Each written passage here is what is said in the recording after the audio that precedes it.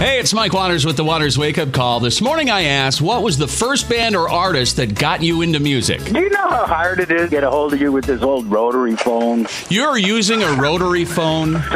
Yeah, it, it requires skill to do that to call a radio station with the rotary phone. You Yeah. you can do it with a cell phone. Yeah, well, it, it takes what, about 10 minutes to go through the whole process, I think. Yeah, yeah. Yeah, I know. You should at least have, if you have a landline, you should at least have one of them push button things.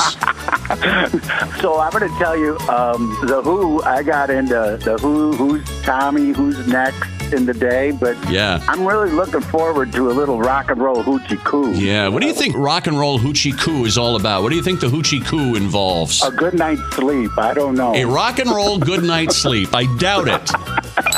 Morning, Mike. It's Uncle Mike here. Hello, Uncle Mike. I am dying to hear what your first band or artist that got you into into Well, music you was. You shouldn't have to ask me because you just are a carbon copy of me. Was it a band with four members and they were all fab? Absolutely. Yeah. And, and from the Beatles, it was the Stones. And then I learned about guitars and the Yardbirds, and it just kept rolling. It's when I got my first guitar Yeah. and stuff. And, you know, it just catapulted, you know? You just Right. took right off. Well, who was your big You know, guitar inspiration when you first started? Oh, I loved George Harrison when I was when I was young. And so Yeah. I was so happy when I learned to play Day Trip, where I drove everybody nuts. Oh, that riff, yeah. Oh yeah, I'd call him up on the phone and make him listen to it. My mom would get so mad and stuff, but uh, it's just it, it's insane. But oh yeah, Yeah. totally the Beatles.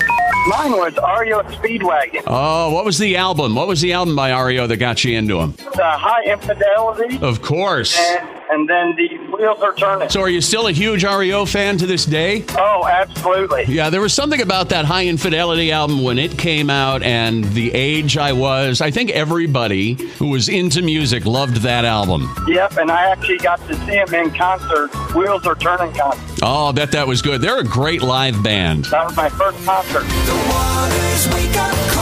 Weekday mornings, 5.30 to 10. 1057 KOKZ.